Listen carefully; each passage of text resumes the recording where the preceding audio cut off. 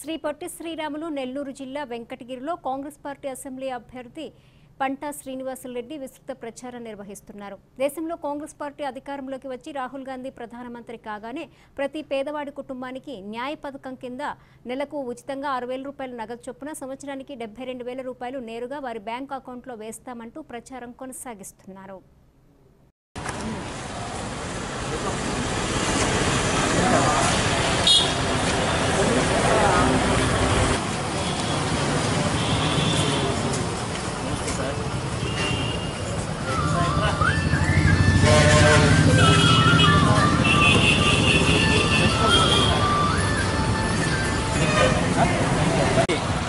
జరగబోయేటువంటి సార్వత్రిక ఎన్నికల్లో కాంగ్రెస్ పార్టీ తీసుకున్నటువంటి పథకాలు ఇవాళ ఆంధ్రప్రదేశ్లో గత ఐదు సంవత్సరాల నుంచి కరువు తాండాలతో విలవిల్లాడుతున్నటువంటి రైతులకు ఊరటగా రెండు లక్షల రుణమాఫీ చేయడము అదేవిధంగా పొదుపు మహిళలైతేమి డ్వాక్రా మహిళలైతేమి వాళ్ళకు ఉన్నటువంటి లోన్లు ఏవైతే ఉన్నాయో అవన్నీ కూడా రుణమాఫీ చేస్తామని చెప్పడం జరిగింది.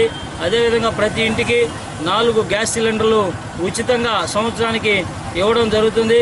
కాంగ్రెస్ పార్టీ తీసుకున్నటువంటి ప్రత్యేక హోదా మన ఆంధ్రప్రదేశ్కి రావాల్సినటువంటి హక్కుని కాంగ్రెస్ ప్రభుత్వం ఏర్పడిన వెంటనే మొదటి సంతకం మనకి హోదాను ఇవ్వడం జరుగుతుందని రాహుల్ గాంధీ గారు చెప్పడం జరిగింది.